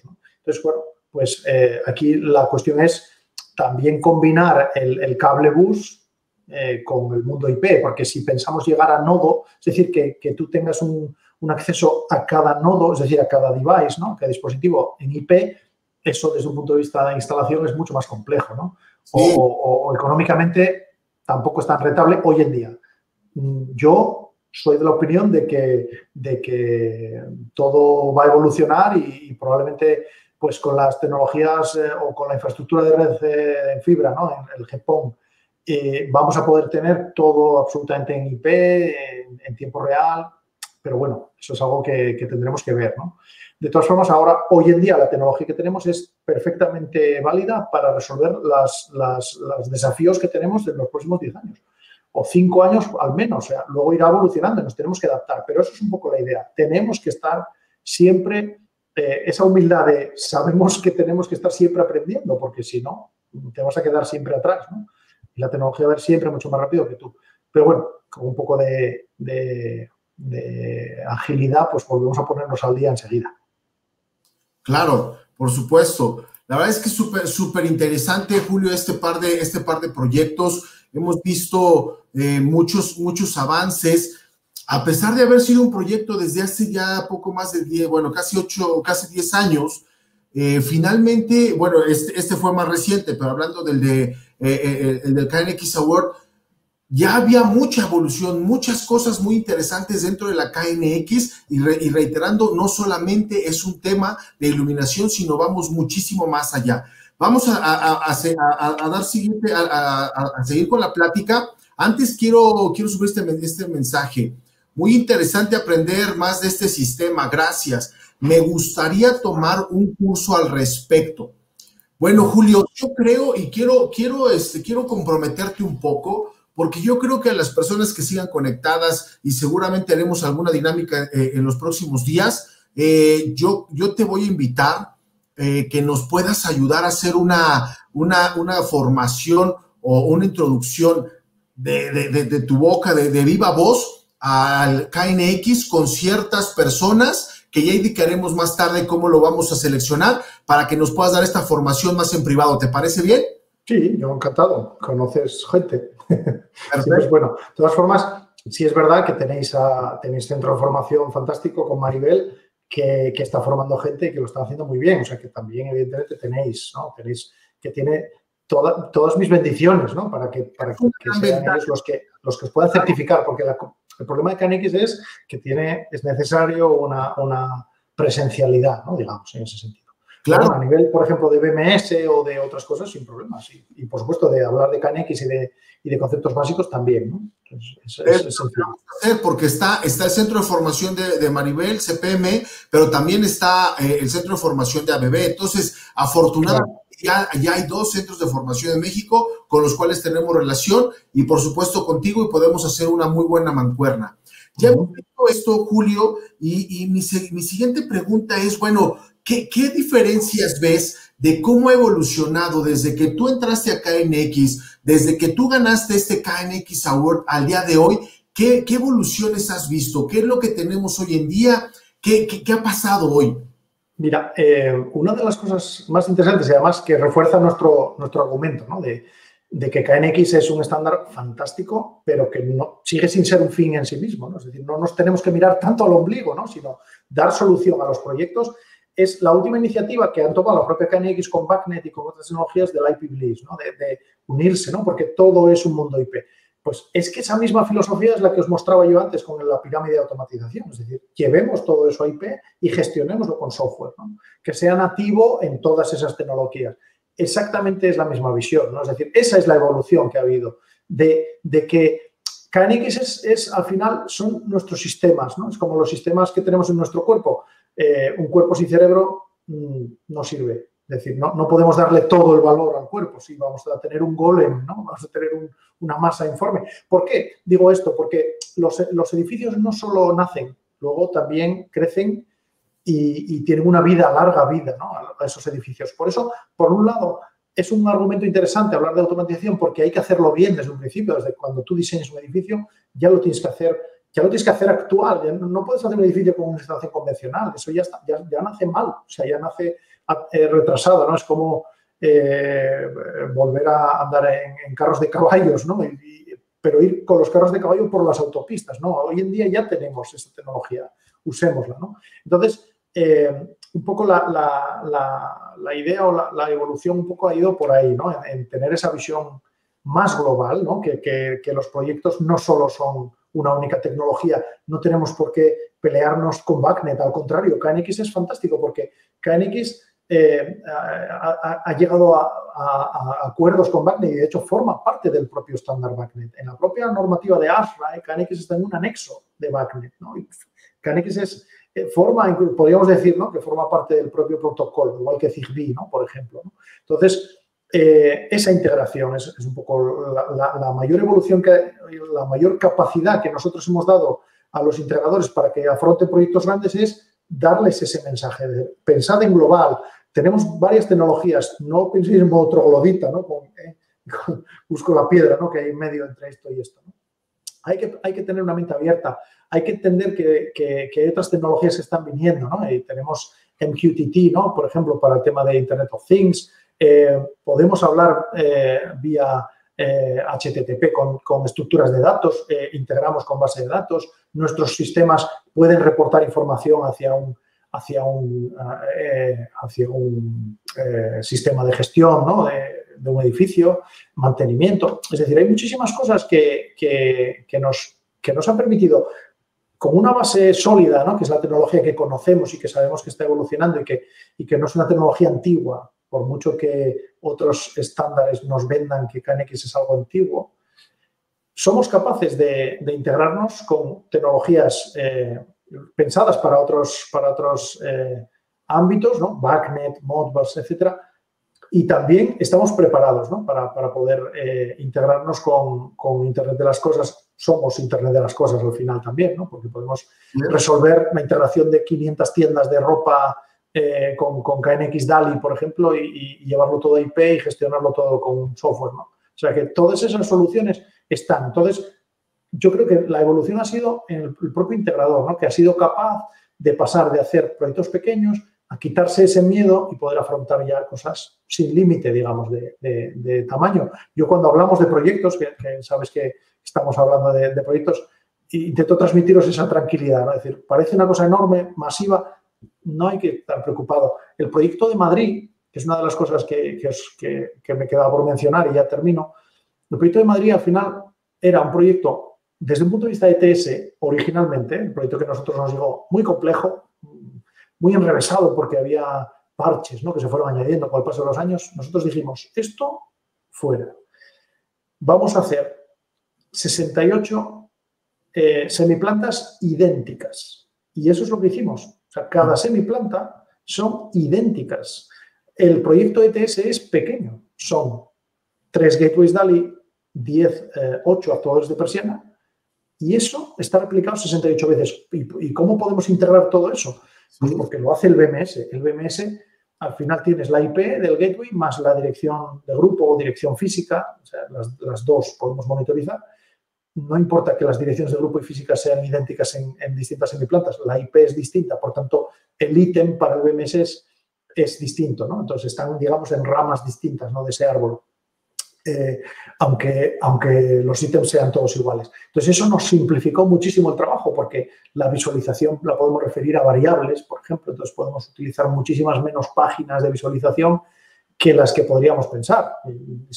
Yo lo explico en mis cursos. Yo controlo cualquiera de una en una de las 2.312 persianas con solo dos páginas y un solo widget, porque uso variables. Entonces, eh, tener esa, esas herramientas ¿no? que te permitan decir, ostras, puedo, eh, puedo hacer un proyecto masivo de un hospital, lo que tengo que hacer es pensarlo muy bien desde un principio, conociendo esas herramientas, y me voy a poder enfrentar a un aeropuerto o a un hospital o a un edificio grande, porque al final van a ser muchísimas cosas iguales o muy similares repetidas. ¿vale?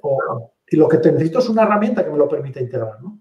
y que luego de forma lateral pues me permite integrar otros, otros niveles de otros softwares, ¿no? Por ejemplo, un hotel, pues la, eh, la gestión del hotel, el PMS, el Opera, Fidelio o lo que sea, o, o Door Lock Systems, ¿no? Las, las, puertas Cava o Vincar, ¿no? Ese tipo de, bueno, pues de elementos colaterales, ¿no? Con, con el propio, propio sistemas del hotel.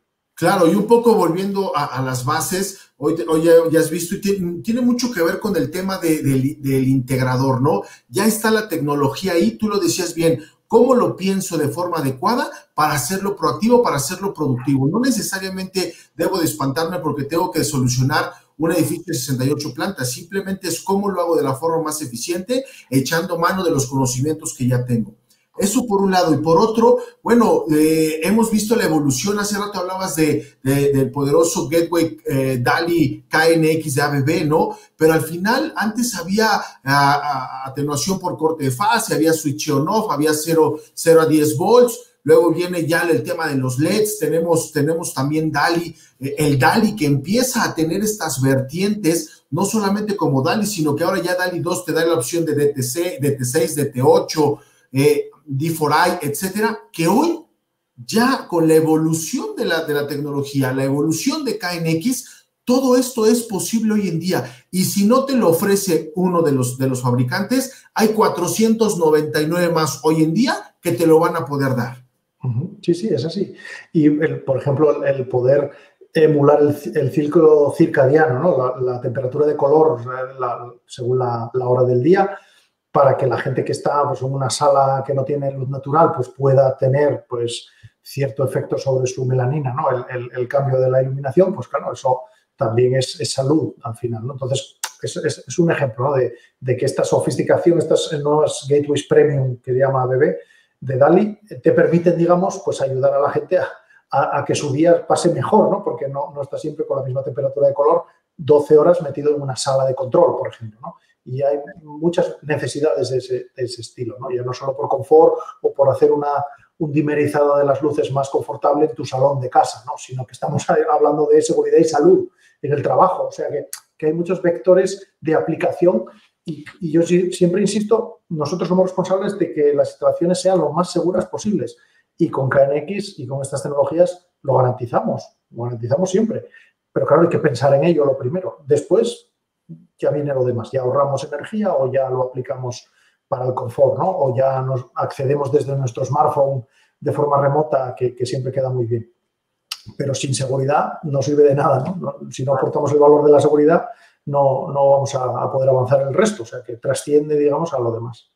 Punto importantísimo, la seguridad. Y bueno, ya hablamos de lo que fue, ya hablamos de lo que tenemos hoy en, en presente, ya hablamos del IP Blitz, que nada más para recordar y retomar un poco, está Wagner, está KNX, Open Connectivity, Thread Group y Zigbee Alliance formando este IP Bliss. Ya hablamos hoy del, presente, el IoT. Para Julio Díaz, como experto, como KNX Award, como un profesional del KNX desde hace más de 23 años, ¿qué es lo que sigue en el KNX? ¿Qué, es, qué viene en el futuro? ¿Cuál es el futuro mediano y largo plazo eh, para KNX? Bueno, pues es una pregunta interesante. Yo quisiera tener la respuesta segura, pero no la tengo. Lo que sí tengo claro es que eh, hay, hay, dos cosas fundamentalmente, ¿no? en, mi, opinión. La integración de las energías, digamos, renovables a nivel, a nivel directo con KNX, aunque bueno, tampoco sería eh, totalmente necesario porque tenemos Modbus ¿no? para ayudarnos en eso, pero esa es una, es decir, que sea que, también nuestra vivienda la vea, vivienda o edificio, ¿no? Lo veamos también eh, como parte de, lo que son los, smart grids, ¿no? Se, llama así aquí en Europa, no sé, no sé cómo, cómo lo llamáis en América, pero es un concepto de, bueno, pues antiguamente nosotros consumíamos, bueno, intentamos consumir poco, pero consumimos energía, eh, pero claro, es importante saber cuándo la consumes, porque tú ahora eh, vas a tener la capacidad de producir cierta parte de esa energía, de almacenar incluso cierta parte de esa energía, si es necesario, y entonces el, que el sistema sea más proactivo, ¿no? En ese sentido, es decir, aplicar criterios de inteligencia artificial, ¿vale? Digamos que al final no deja de ser una, eh, una machine, machine learning, de, alguna forma, ¿no? Una forma de aprendizaje, ¿no? De los factores de comportamiento de, nuestro, de los usuarios para que, bueno, pues ese uso sea optimizado, no sea simple, pues hago un horario para no sé qué eh, calentamiento del agua, de, del agua caliente, no. Ese no va a ser un horario, va a ser un, periodo de tiempo totalmente flexible que, que, habrá un sistema que decida cuándo es el mejor momento óptimo para cargar tu vehículo eléctrico o para descargarlo y aprovechar, porque tienes un exceso de carga del vehículo que no lo vas a usar por la noche, eh, para, utilizarlo para otras cosas, reducir la potencia en un momento dado, para que no tengas un exceso de, potencia eh, consumido. Por ejemplo, tienes la iluminación, tú puedes hacer una dimerización de las luces y reduces la potencia. Tampoco aplicaría mucho porcentaje, pero sí eh, tener ciertos criterios. Es decir, por un lado va a ser eso, es decir, que los sistemas van a ser mm, mucho mucho más proactivos y menos reactivos. Es decir, que va a haber cierto grado de inteligencia artificial para que los sistemas pues, puedan tomar decisiones anticipadas. Y luego, por otro lado, a nivel de tecnología, yo creo que hay una, hay una carencia en KNX, que es que haya mucho más eh, dispositivos por radiofrecuencia. Yo creo que es una oportunidad, de hecho, tenía pensado que lo podemos dejar para otro día, si queréis, eh, pero bueno, como, como ya de tiempo no vamos muy bien, eh, pero simplemente es una reflexión. Eh, hay muchas tecnologías muchísimo peores, en mi opinión, a nivel técnico, tecnológico, eh, otros estándares de, radiofrecuencia, donde KNX ahora mismo sí podría volver a tomar ese mercado. Es decir, hay muchísimas posibilidades de negocio para los fabricantes KNX que desarrollen muchos dispositivos KNX RF, por varios motivos. Primero, porque KNX-RF se podría integrar perfectamente con KNX-TP, con otros dispositivos KNX, con lo cual combinar los dos sería eh, muy, muy potente, ¿no? Es decir, el potencial es muy grande, porque además el integrador sería el mismo, es decir, se, integra todo en el ETS, ¿no? Entonces, eso, es por un lado. Y por otro, porque quitaríamos eh, un negocio que está volviendo a, tomar tecnologías que, que ya se habían descartado, pero que la necesidad de que los usuarios quieren tecnología sencilla, fácil de instalar y tecnología mm, económicamente menos costosa que lo que sería el cableado por instalación y por coste de los equipos, eh, tenemos esa oportunidad. Es una cuestión de hacerlo bien, de hacerlo bonito, estéticamente bonito, pero es muy fácil eh, eh, controlar incluso motores de persiana, iluminación bien inalámbricos, o sea, no solo sensores, que podemos pensar que, bueno, pues el RF es solo para, para sensar temperaturas o presencia, etcétera. Eh, o pulsadores ¿no? inalámbricos. Hay una oportunidad muy grande, hacerlo bien, hacerlo estético para que sea bonito y que incluso se pueda vender standalone una solución RF KNX. Y por tanto, volver a recuperar ese o, volver a tomar una parte del mercado del, del do it yourself, ¿no? que muchas veces eh, se, demanda en, en, automatización, pero como puerta de entrada para que luego se pueda sofisticar más las instalaciones o incluso como complemento a las instalaciones ya cableadas que no dejan de ser una barrera de entrada, ¿no? Por la propia instalación diferente, costo de los equipos, etc. Yo creo que ahí hay una oportunidad interesante. Luego, aparte, KNX ha hecho también un esfuerzo interesante para la gente que queréis aprender y empezar. Hay una solución nueva que se llama KNX Virtual. No hace falta ahora tener dispositivos físicos para poder aprender a, programar. Puedes ah. aprenderlo con dispositivos virtuales. Y eso está muy bien. Eso está muy bien. Es una iniciativa interesante. Entonces, bueno, el futuro de KNX, me lo preguntaron hace 20 años, me lo preguntaron hace 15, hace 10, hace 5. ¿Cuánto más va a vivir KNX? yo creo que va a tener una vida larga. De hecho, ya la está teniendo. Es decir, eh, si, me repito a la pregunta de hace 20 años, acerté. Dice, va a vivir muchos años. Aquí estamos, es decir, aquí estamos. Detrás de KNX hay decenas, centenares de fabricantes. Entonces es muy interesante que esos fabricantes apuesten, sigan apostando y cada vez hay más. ¿no? Y hay una asociación, la propia asociación KNX, que están haciendo las cosas bien. A veces pensamos que las hacen tarde, ¿no? Por ejemplo, entrar en el tema de IoT, eh, bueno, pues, eh, o, intentar dar solución a algo que ya existe en el mercado, es decir, control por voz, Alexa, Google Voice, eh, HomeKit de Apple ya existe, es decir, que ya tenemos esa integración. Lo que pasa, lo que pasa es que esto es, y, termino, hay, un, hay un aspecto muy importante y que KNX sí puede resolver con su propia tecnología, que es la privacidad. Es decir, estamos cediendo datos de forma indiscriminada y, yo creo que si tenemos la capacidad de acceder a nuestra instalación, dar comandos de voz, pero que no nos lo estén grabando y, guardando en bases de datos en Estados Unidos o en China, me da igual, pues mejor, ¿no? Es decir, tener esa privacidad garantizada, que es algo que también estamos descuidando y que tenemos que tener, volver a tomar, digamos, control sobre eso. O sea que la tecnología nos da eh, mucho, nos puede dar mucho, pero claro, evidentemente tiene sus riesgos y hay que tenerlos en cuenta.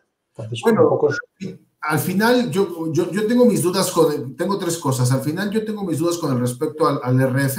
El RF es la evolución, tiene que estar.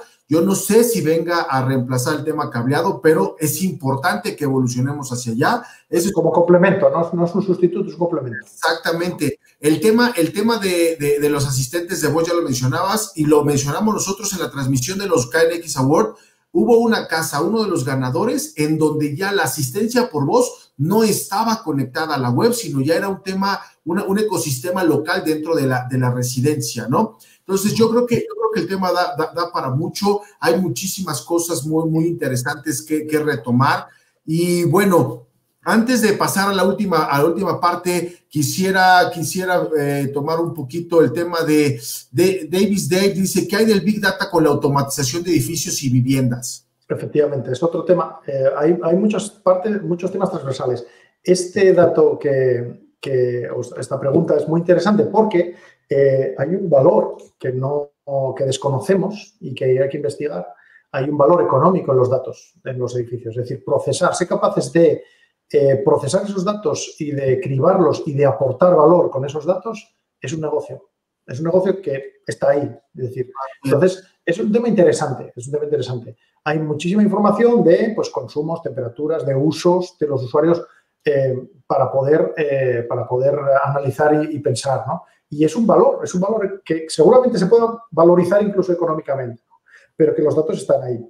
lo que pasa es que, insistimos, la privacidad si es un edificio de un particular y, quiere eh, contratar un tercero para que haga un estudio de, que esos datos, cómo poder reducir los consumos energéticos en base al histórico de datos y al resultado que ellos tienen en lo que sea, ¿no? en el rendimiento de sus trabajadores, etcétera, fantástico. Es decir, porque al final en los edificios habitan personas, de hecho pasamos el 90%, vamos a decir 90, si no es más, del tiempo de nuestras vidas dentro de lo que sea de un edificio, o sea, puede ser un gimnasio, un, una oficina o nuestra casa, eh, y por tanto las instalaciones repercuten en, nuestro, en nuestro, nuestra productividad, nuestro confort, si estamos en trabajo en casa, lo que sea.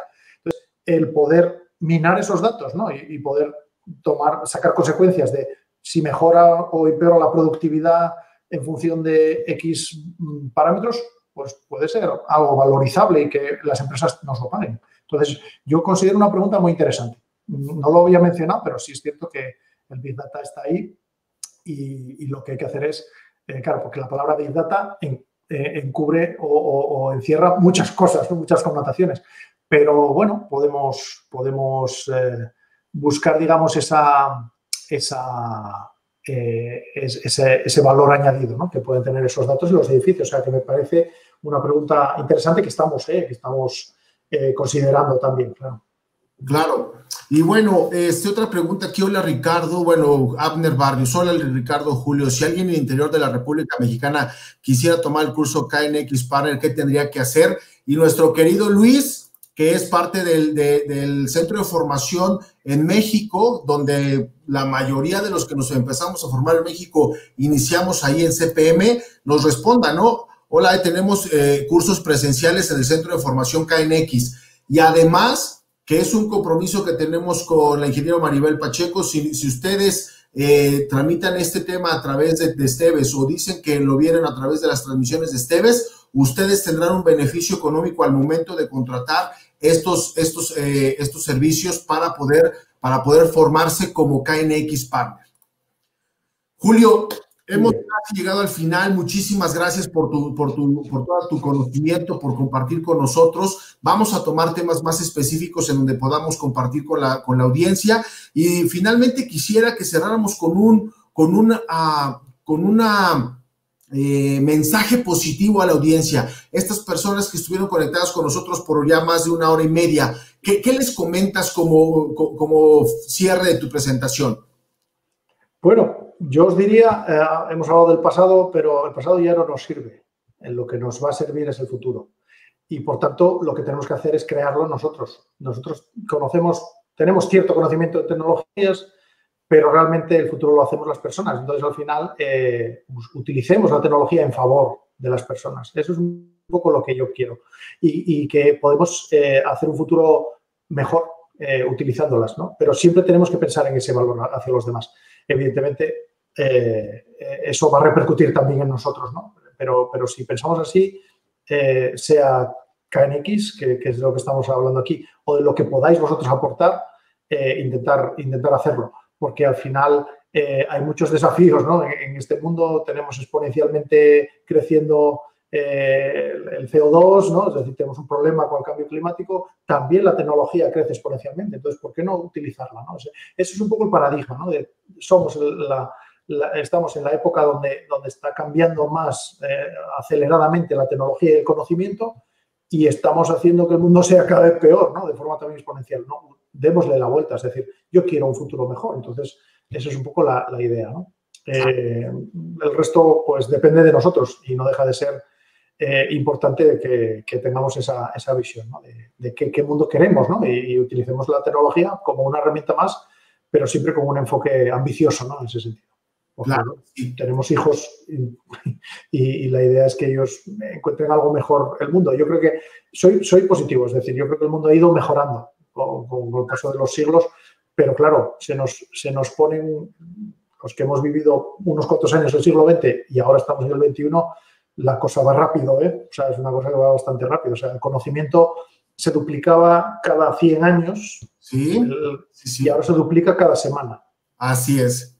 Ese es el ritmo de, de, de cantidad de contenido, de, conocimiento científico y tecnológico. Entonces, claro, es un desafío interesante. Pero bueno, ahí estamos. Así es. Julio, pues no me queda más que agradecerte. Muchísimas gracias por compartir con nosotros, con la audiencia. Y bueno, eh, para todas las personas que, que han estado conectados, esto se va a quedar grabado en nuestras redes sociales, YouTube y Facebook, para que puedan eh, revisarlos cada vez que puedan.